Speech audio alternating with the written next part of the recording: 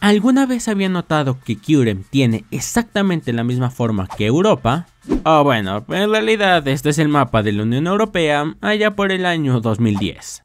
Pero eso es lo de menos. Yo creo que se parecen tanto por tres razones. La primera es obviamente en referencia a los dragones europeos, que son unas de las criaturas mitológicas más populares a lo largo de la historia.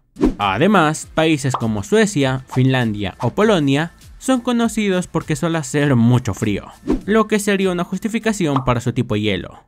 Y finalmente, porque ambos son conocidos por intentar apoderarse de sitios que no les pertenecen. Y sí, hablo a ti España. ¿O tú por qué crees que se parezcan tanto?